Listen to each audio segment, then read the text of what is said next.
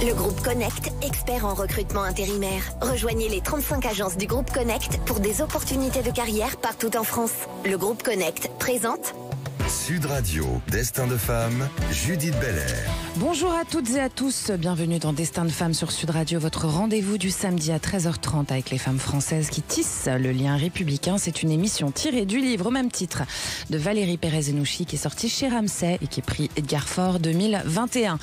Dans Destin de femme aujourd'hui, vous allez découvrir le destin de la grand reporter, grande reporter, j'ai envie de dire, et les journalistes d'investigation au Figaro Magazine, Najette Cherigui.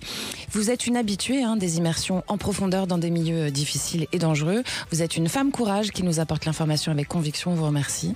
Autant vous dire, chers auditeurs, un vrai destin de femme comme on les aime sur Sud Radio. Bienvenue, Najat Cherigui.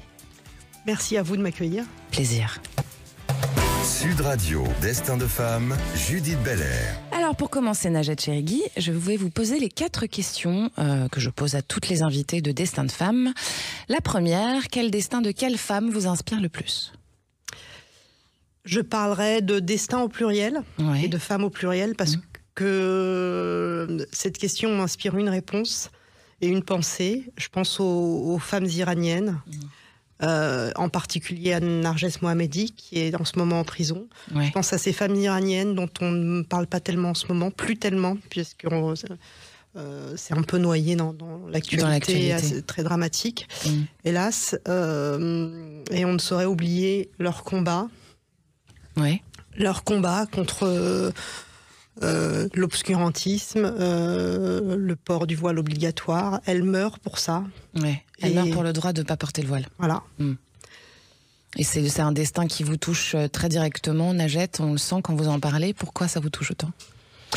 Euh, ça me touche parce que parce que je suis une femme, je suis je suis une femme libre. Ouais. Euh, je sais ce que ça coûte. Mm. Et, et voilà, quand je, je pense à, à ces femmes euh, qui paient le prix fort encore et qui sont toujours pas libres, et que je vois encore ou que j'entends ici, dans un pays comme la France, euh, euh, Des femmes qui se battent pour l'inverse. l'inverse, Pour le droit de des, porter le des voilà. atermoiements, des, hésitations. Euh, Mm. Mon regard se tourne vers ces femmes et je me rappelle, euh, ça me rappelle en tout cas euh, qu'il faut rien lâcher, il faut se battre, il faut penser à elles. Mm. Euh, elles, comme les femmes afghanes aussi, mais euh, on m'a demandé de choisir, je pensais aux iraniennes, mais ça, on peut décliner. On peut décliner à tous les pays en fait où les femmes sont réprimées quoi. Mm. Et alors quel a été votre plus grand succès à vous, Najat Cheriki? C'est une question qui me qui m'interroge parce que le succès, euh, c'est quoi? Bah, Votre réussite C'est alors quoi la c'est- réussite? Oui. euh, euh, non, je, je, je, je, vais, je vais vous décevoir. Je vais pas vous parler de succès parce que euh, si on parle euh, du travail, de mon travail, Mm. il n'y a pas de succès. C'est un éternel recommencement. À chaque Mm. fois, on fait. Oui, parce on que vous êtes dans travaille des zones où c'est assez terrible. Donc en fait, vous voyez des, des, des choses compliquées à chaque fois. Et, que c'est- et du coup, cet, er- cet éternel recommencement ne peut pas vous dire que quand vous arrivez à aller au bout d'un article et que vous avez un succès sur un article, c'est un succès. quoi. Non, c'est un article. C'est c'est un article qui dure le temps euh, que ça dure, c'est-à-dire euh, une semaine, un hebdo, voilà. Et, euh, et on doit sans cesse recommencer, y retourner. Le succès, ça serait que ça s'arrête, en fait, non? Peut-être. Quelque part. Vous avez la réponse. Quelle a été euh, votre plus grande joie? Ma plus grande joie. Hmm. Vous hésitez? En fait, on a l'impression quand euh, je, je projette ce que je vois de vous, euh, c'est que finalement vous êtes vous êtes pas en, en montagne russe. Il n'y a pas de plus grande joie ou de plus grande déception peut-être? Il y a la vie quoi. Il y a la vie. Euh, Ma plus grande joie, c'est quoi? Moi, je suis assez optimiste. Alors, euh, même quand euh, on touche le fond et qu'on voit le pire dans le monde ou chez les gens, je- j'essaye toujours de, de trouver quelque chose, une lumière. euh. Euh, je vais vous prendre l'exemple d'un néo-nazi en Hongrie que j'avais interviewé et j'essayais de, de, de, de sonder euh, De la lumière, positif la lumière quoi. dans son âme. Ouais. Vous avez réussi à trouver de la lumière? Non, j'ai vu la, la noirceur, mais Mm. euh, mais j'ai compris surtout d'où venait cette noirceur. Donc au, moins avoir des réponses à ça, voilà, ça, ça. Hmm. Donc si je vous pose quelle est votre plus grande déception, c'est pareil en fait. Vous n'avez pas de grande déception, Najette, chérie Guy L'humanité peut-être? Ouais. L'humanité vous déçoit? Oui, mais en même temps, je m'accroche. Avec son éternel recommencement, justement. En même temps, je m'accroche, je me dis que. Hmm. Bon. Alors, vous revenez tout juste euh, d'Ukraine. Hein, vous y étiez il n'y a pas longtemps, là. Vous étiez sur le front, Najat Cherigui. Euh, vous avez un papier qui est paru euh, hier dans le Figaro Magazine.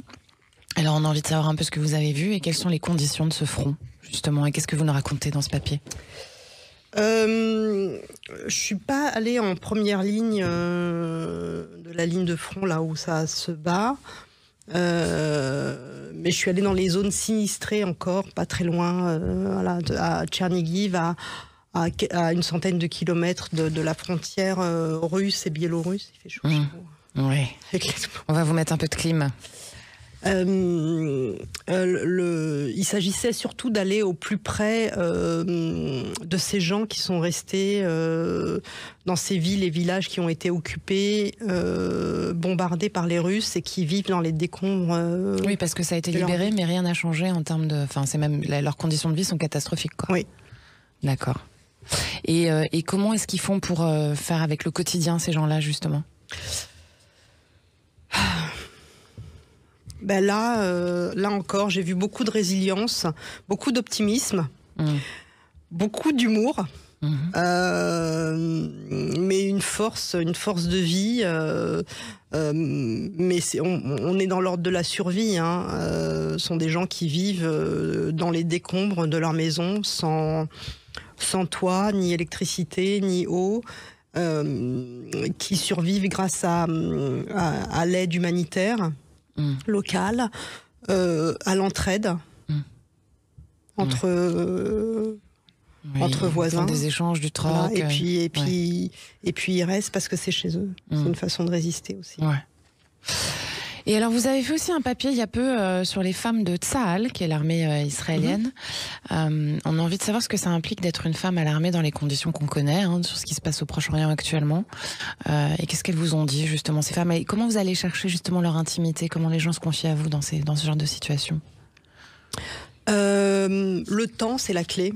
Mmh. Euh, il faut passer du temps sur place, en fait. Oui, il faut passer du temps. Par exemple, pour votre papier sur, sur ces femmes-là, vous avez passé combien de temps sur place euh, une, dizaine de jours. C'est du temps et en même temps, c'est trop peu parce que j'aurais pu aller chercher plus. Mais hmm. voilà, on passe du temps. Euh, on parle beaucoup. il faut instaurer une confiance. Peut-être que le fait d'être une femme, ça change quelque chose, mais je suis pas sûre puisque j'ai travaillé avec deux photographes masculins masculin et euh, qui ont très bien su faire avec elle. Hmm. Non, le temps, la parole euh, et l'écoute. D'accord. Et, euh, et, finalement, euh, quel que soit le pays où vous allez, parce que vous êtes allé euh, beaucoup sur dans des, bah, en général dans les pays où il y a des complications, euh, est-ce qu'il y a des points communs entre tous ces tous ces endroits où il y a la guerre, où il y a la famine, où il y a que vous allez en fait, hein, parce que vous allez que dans les endroits où c'est compliqué? Est-ce qu'il y a un point commun global Est-ce que vous voyez?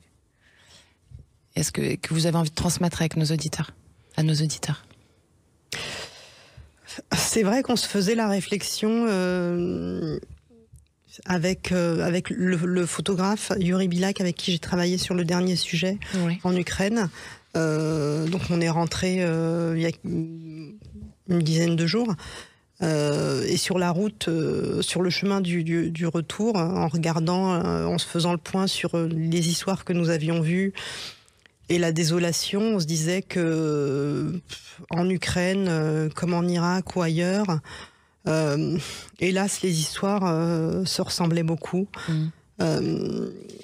sur le terrain, on, on trouve toujours les mêmes désolations, les mêmes situations. Les femmes et les enfants sont souvent les premières victimes. Les premières victimes les plus pauvres d'entre les plus pauvres sont souvent euh, ceux qui ont qui sont euh, qui sont euh, laisser de côté un peu, voilà, comme on a vu, euh, Mm. c'est ce qu'on a vu euh, en Ukraine, c'est-à-dire que les personnes âgées euh, qui ont euh, moins de 50 euros par mois euh, comme pension euh, m'expliquaient que voilà, c'était chez elles et qu'elles, de toute façon, elles n'avaient nulle part où aller Mm. et qu'elles n'avaient pas les moyens de reconstruire. Et c'est toujours, voilà, ce- c'est toujours, ce sont toujours les mêmes histoires. Hmm. Donc en fait, c'est la misère qui est, qui est commune, quoi. Ouais. C'est ça que vous dites. Euh, et, et vous, pourquoi est-ce que vous avez, euh, vous- en fait, vous avez la conviction que c'est important de ramener cette information? Pourquoi ce choix de vie? Parce que c'est pas simple? Non, c'est pas simple. euh, non, c'est pas simple parce que bon, humainement, euh, c'est toujours douloureux. C'est violent, ouais. Mais je, je, je crois, ben, j'ai- aussi loin que je, mes souvenirs me- m'emmènent. Je, toujours- je crois que j'ai toujours voulu faire ce métier. Euh, La raison pas pour profonde. changer les choses, mais Mhm. pour, euh, pour en tout cas euh, Les raconter. dire, les raconter, les exposer. À la fin de la journée, un article, ça change pas la face du monde, ça change pas la situation euh, des gens dans, les histoires qu'on raconte. Mais au moins, euh, on est euh, peut-être un peu le porte-voix de, Mhm. des De ceux personnes, de ceux qui, de, Qui de n'ont ces pas la personnes parole. qui n'ont pas la parole. Ouais. Et, et puis on, on, f- on fait quelque chose au moins. On fait quelque chose, vous voulez dire, par rapport à leur situation? En, en tout cas, en général dire, aller regarder et rapporter l'information, c'est une façon, C'est une action, quoi. c'est une action. ça- Ouais. C'est-à-dire qu'au lieu de, de, de, de, de nettoyer euh, les, les, les plaies du monde, en fait, euh, vous, vous, vous nous- aidez à, à mieux les comprendre. C'est ça, quoi. Ouais, j'essaye déjà de les comprendre moi-même pour les raconter. Et puis Ouais. après, Et vous y arrivez à comprendre cette humanité? Un peu désespérante quand on vous écoute. Non, c'est désespérant, mais on... c'est désespérant. On comprend pas toujours, euh, mais on doit s'efforcer de, en tout cas, déchiffrer, décrypter, Mm. euh, écouter Pour donner et pour la dire, écrire. Ouais. Ouais. Témoigner, quoi. C'est tout ce que, en tout cas, C'est ce qui vous parle motive. pour moi, mais aussi euh, pour euh, ceux qui travaillent avec moi. Je pense aux, aux photographes. On est dans la. C'est la même chose. Ouais. Hmm. Eh bien, restez avec nous euh, sur Sud Radio, chers auditeurs et chères auditrices, évidemment, pour Destin de Femmes. Nous sommes avec la grande reporter et journaliste d'investigation au Figaro Magazine, Najette Chérigui. À tout de suite. Sud Radio, Destin de femme, Judith Belair. Le groupe Connect, expert en recrutement intérimaire. Rejoignez les 35 agences du groupe Connect pour des opportunités de carrière partout en France. Le groupe Connect présente Sud Radio, Destin de femme, Judith Belair. Destin de femmes sur Sud Radio, c'est l'émission consacrée aux femmes exceptionnelles qui tissent le lien et le sérail de notre République française. Aujourd'hui, vous êtes avec Najette Chérigui, qui est grand reporter et journaliste d'investigation au Figaro Magazine. Alors, Najette Chérigui, vous êtes une femme, il va sans dire. hein. Euh, et à l'occasion de vos reportages, euh, on vient d'en parler un petit peu, vous avez été maintes fois quand même dans des situations dangereuses, enquêté sur des gens dangereux aussi, euh, comme lors de votre immersion en Seine-Saint-Denis, hein, notamment autour des, des réseaux islamistes. Je crois que c'était le nouveau Molenbeek, euh, le titre, c'est ça. Euh, Est-ce que une- être une femme, ça complique pas les choses quand même? Parce que c'est une question qu'on se pose forcément. Parce que pour plonger dans un milieu islamisme, vous vous voilez par exemple? Comment vous faites? Non, Non? Ah ouais vous y allez les cheveux lâchés comme ça. moi avec euh, mes cheveux. D'accord, ok. Ça passe pas et, et- et du coup, ça complique pas? Pensez pas que ça. En, fait, on n'a pas besoin de ça euh, pour que ce soit déjà compliqué. D'accord. Euh, je suis journaliste, donc je Ouais. n'ai pas besoin de me déguiser. La difficulté, c'est c'est de, de parler aux gens, d'avoir des gens qui acceptent de vous parler. Donc ça aussi, c'est beaucoup de temps, beaucoup de temps passé sur euh, place, et puis euh, et puis venir, revenir, revenir, euh, euh, ne, ne rien lâcher, arpenter, arpenter le terrain. Je vais juste reprendre une chose que, que revenir sur une chose que vous disiez. Euh, en parlant de, de terrains dangereux comme Mhm. Saint-Denis, je, moi j'ai jamais des, des- Alors, je parlais pas de. Saint-Denis pour le terrain dangereux, Ah je oui. parlais des gens dangereux à Saint-Denis. Parce que, bon, les islamistes, c'est pas des gens gentils, ou calmes, ou sympathiques. Si? Euh, Ça peut être non, le mais cas? comme on sait, non. non, mais on sait, on, on- on sait à qui on, on a affaire. Et vous les abordez clair. comment alors? Ben, Je me présente et. Et vous parlent? et Ça dépend. D'accord. Mais quand Non, un dépend, islamiste euh, qui non, non, couvre la tête normalement de, de la femme en face, comme c'est en train de se, parler, se passer en Iran, comme on vient de parler de nos sœurs iraniennes, quand il vous voit débarquer avec votre tignasse là, Hmm. il, il bloque pas? Non, non, non, non, bah non. euh, Alors pourquoi? Parce que vous êtes journaliste. Parce qu'en fait, ouais, vous n'êtes pas que une je suis femme, vous journaliste, journaliste. et puis et puis surtout, euh, je décide que ce n'est pas un sujet. Ok. Alors c'est votre bagou. Euh, Je je, je sais pas si j'ai du bagou. euh, la preuve que non. Il faut pas se dénigrer à l'antenne. Non, je pense que euh, euh, en fait c'est difficile de d'écrire ça en quelques mots ici au micro, mais un islamiste convaincu, politisé, etc. Il a qu'une envie, c'est de vous expliquer sa position et pourquoi. Donc c'est pas si difficile Ouais. que- ça. Donc il va pas s'empêcher juste, de vous parler voilà, parce que vous avez les ceux- cheveux lâchés, quoi. non, il y a Ouais. ceux qui, euh, bah il y a ceux qui, qui vous jugent aussi pour ça, mais ça, c'est pas grave, je prends aussi. Euh, En fait, vous, en fait, vous vous en il y a- fichez du les- regard qui porte sur vous, quoi. Oui, c'est pas, un- je, je suis pas pas, là sujet. pour ça, non. Ouais. Non, non, je suis pas une femme, je suis pas. Vous n'êtes pas une femme, vous êtes Je journaliste. suis journaliste. Ok. Voilà. Je, je ne prends rien. C'est un habit que vous mettez, quoi. Et puis après, vous pensez plus qu'à ça, il n'y a plus Ouais, d'autres sujets, en fait. mon boulot et puis, puis les insultes. c'est peut-être ça euh, qui fait que vous n'avez pas peur aussi, non? Parce que quand même, euh, faut y aller. Hein. Hum, non, je, je me pose pas les- la, question en ces termes. C'est-à-dire qu'il y a, il y a un sujet qui me passionne. Euh, je veux y aller et puis euh, bah, c'est difficile, plus ou moins difficile. Euh, En fait, euh, c'est le- ce qui- est plus gênant, c'est la difficulté. Voilà, c'est pas tellement euh, on, Mm. on est dedans, on est dedans, on fait, on fait le job et puis euh, Ouais. et puis on creuse. Euh, voilà, ce sont des sujets difficiles. euh, Mm. Avant, après, euh, pendant. Alors justement, à ce sujet-là, comment est-ce que vous, vous parvenez à rester objective euh, tout en couvrant des sujets qui sont aussi émotionnellement chargés, on peut le dire Mhm. quand même hein? Comment, c'est, comment vous arrivez à faire la part des choses entre ce que ça vous fait ressentir et ce, que vous, ce qu'il vous faut que vous fassiez dans l'action Ouais. Bah, La, la- la subjectivité, c'est très subjectif. Comme... Ok. Mais du coup, est-ce qu'il y, a un- est vraiment- il y a un processus que, que vous mettez en place pour vous détacher quand vous voyez des scènes d'horreur? Euh, on Est-ce que on vous se avez détache. dû en voir? Là, on parle plus des islamistes, par Non, exemple. on parle plus des islamistes, on parle du Euh, terrain. De terrain, euh, non, on se détache jamais des scènes d'horreur. Ça, Mm. C'est pas possible émotionnellement. Euh, c'est pas, moi, je, je, je comprends pas les personnes qui, qui, faire la part des qui répondent qu'on s'habitue à l'horreur. Non, ça, Mm. le jour où on s'habitue à l'horreur, euh, Il y a un problème. c'est qu'il faut s'arrêter. Non, non, évidemment, on, on pleure, on est écœuré. euh, et l'horreur, je tiens à le dire ici, elle n'est pas forcément euh, à l'autre bout du monde dans des pays euh, Ouais. difficiles. On peut la rencontrer aussi. euh. Vous avez un exemple concret? Oui, je me souviens d'un reportage particulièrement euh, éprouvant, Mmh. vraiment, un des plus difficiles. C'était en banlieue parisienne. J'étais en immersion avec euh, la brigade des mineurs et je crois que ça, ça, c'était il y a plus de dix ans et ça me poursuit encore. Ce qu'on fait aux enfants, quoi. Ouais. Euh, sur le rôle des journalistes euh, dans la lutte euh, contre l'extrémisme, pour revenir un petit peu euh, euh, sur la, la montée de l'islamisme hein, qu'on connaît dans notre société, il est indubitable, il est important, quoi, ce rôle-là. Alors, Parce que même si on est censé être objectif, on s'engage quand on écrit. ben, choisir un angle pour un papier, c'est déjà commencer à être euh, subjectif quelque part. C'est une forme de sub- subjectivité. Mm.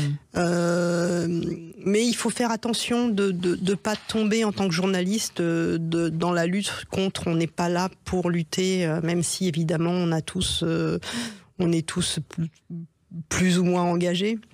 Euh, notre travail, c'est de raconter. C'est pas de donner votre avis, quoi. c'est de raconter. Moi, je, euh, je, je pense souvent à ça euh, quand j'écris euh, pour rester équilibré. Je fais confiance euh, à l'intelligence du lecteur. Je suis là pour raconter ce que je vois, ce De que manière la plus neutre possible? J'essaye, ouais, Mm. j'essaye. Alors, et- évidemment, ça veut dire parfois raconter les choses sans filtre, Mm. Euh, comme quand on va sur le terrain raconter le, le communautarisme ou euh, ce qui se passe, euh, enfin l'i- l'islamisme, etc. Et voilà, je- on raconte les choses sans filtre et ça plaît pas toujours Mm. euh, parce qu'il faut. euh, Vous avez été menacée déjà? Oui, oui. Mais bon, ça fait Vous avez. Ouais, ça a pas l'air de vous embêter plus que ça, Najat Cherigui. Ben, ça fait partie du. Quand on. Vous si avez on une parle- dextérité quand même. Hein, euh. Non, mais je crois que ça fait partie du package, si je puis Mm. dire. Quand on, voilà, on, on traite euh, ce genre de sujet, il faut s'attendre à, à ce genre de, de réaction. Et puis, euh, voilà. euh, c'est. Vous avez pas peur? Non. Non, non. Mais Peut-être que c'est parce Non. que dans votre personnalité, vous avez pas peur en général? Euh, il faut. Enfin, là, on parle des sujets d'enquête euh, de société j'ai pu, qui, ont suscité parfois des polémiques sur le terrain. euh, quand on est euh, sur un terrain dangereux, en guerre ou je sais pas ailleurs, où le risque physique est immédiat, il faut écouter. il faut écouter sa peur. Ça sert à rien d'aller. Faire un- son instinct en fait. hein, ça. voilà, évidemment, on a toujours, un- on a toujours, la peur est toujours là à un moment, mais il faut juste la maîtriser, l'écouter, trouver son équilibre. Mais euh, se laisser submerger par la peur, ça n'est pas, euh, Mais ça, ça, ça bloque pas quoi. ça très, empêche c'est de- pas très, ouais. Ouais, c'est pas, c'est pas, c'est pas enrichissant. Euh, et alors, finalement, vos articles, ils démontrent que vous vous engagez fortement pour ce que vous disiez un peu tout à l'heure. J'ai envie de vous entendre plus là-dessus. donner une, une voix aux personnes et aux problèmes qui sont souvent négligés finalement. C'est ça, quoi. Faire parler le silence. Oui. Hmm. Oui, je, en fait, euh, je, je crois que euh, j'ai une, une carapace comme ça, euh, mais que qu'on apprend à. Enfin, on apprend à s'armer euh, avec le temps, mais euh, en fait, je crois que j'ai au fond euh, une grande sensibilité. J'ai toujours été très sensible euh, aux autres. Hum. Euh, à l'injustice, je suis très en, en réaction euh, avec ce qui se passe dans le monde, à côté de chez moi. et ça explique certainement Votre les, choix, engagement. les choix de mes sujets, en tout cas. Hum. Et comment vous êtes devenu journaliste? C'est quoi l'élément déclencheur? Grand reporter, en fait, surtout. J'ai envie de dire. Bah, c'est- pour moi, la- la- en fait, je peux dire euh, que moi, je vis un réveil éveillé tous Ouais. les jours, puisque, euh, comme je le disais tout à l'heure, euh, et c'est vrai, aussi loin que je me souvienne, Mm. je pense à se remonter entre 8 et 10 ans, Ouais. je, je me rêvais grand reporter. Quand on me demandait qu'est-ce que tu feras plus tard, je disais je serai grand Bah, c'est ça reporter. votre plus grand succès D'avoir réussi à faire ce que vous vouliez dans la vie. Je le vis pas comme ça. Non, je le vois pas comme ça. parce Ah bon. que vraiment, euh, c'est un challenge tous les jours. On recommence, euh, on se remet en question à chaque fois qu'on a fait un papier. Vraiment, euh, je, je dis ça sans aucune euh, forme de. hein. Mm. Je, on, on recommence à chaque fois. C'est on a mis une pièce dans la machine et après on recommence tout à zéro. Il faut. Rien n'est jamais gagné. Mm. Mais, euh, mais, mais oui, je sais la chance que j'ai de pouvoir faire le métier dont je rêvais euh, quand j'étais enfant. Le mot de la fin, Najat Cherigui, parce qu'on va déjà se quitter. Vous avez un petit mot à partager avec nous? Vous avez quelque chose que vous voulez dire aux auditeurs? Oui, aux auditrices. Non, il y a juste une, euh, une question. euh, Vous, vous- vous m'aviez demandé euh, un moment euh, votre plus grande fierté? Ouais. et je tenais à répondre à cette question. Allez-y. Ma plus grande fierté, c'est euh, c'est une réponse bateau, mais Ouais. c'est ma fille. Ah bah voilà. Ma fille qui est voilà que j'ai eu plaisir à, à voir grandir en, en prêtant attention au monde, aux autres, et puis je suis très fière de voir la jeune femme Qu'elle est devenue. qu'elle est devenue euh, engagée, bon déterminée et, et qui, continue de toujours tout questionner sans Comment s'appelle? dans le moule. Sundis. Eh ben Sundis, on lui passe le bonjour. Merci beaucoup Najat Cherigui Bisous, d'être venue par ici. Le votre tout dernier article, euh, bah, de alors pour les auditeurs hein, de Najat Cherigui, qui est la grand reporter et journaliste d'investigation du Figaro Magazine, bah, il est sorti hier. Achetez euh, le Figaro Magazine. Le titre de l'article Dans les ruines, euh, en Ukraine, dans les ruines. C'est un titre évocateur. Eh bien, nous, on a rendez-vous euh, bah, samedi prochain, avant demain, enfin déjà demain, hein, vous le savez, pour cet excellent. Puis samedi prochain, 13h30, pour un nouveau euh, Destin de femme. Euh, vous pouvez nous retrouver sur sudradio.fr, la chaîne YouTube de Sud Radio, sans oublier les réseaux sociaux, 10h en complet, etc. Merci à Thomas qui réalise pour vous. Je vous embrasse. Bye. Sud Radio, Destin de femme, Judith Belair.